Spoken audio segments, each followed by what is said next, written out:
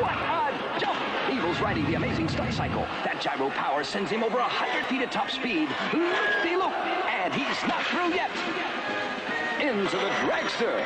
Evel's super sprint car with built-in drag chute to slow him down. What a hope! And now, the Sky Cycle. That daredevil death-defying supersonic skyplane on wheels.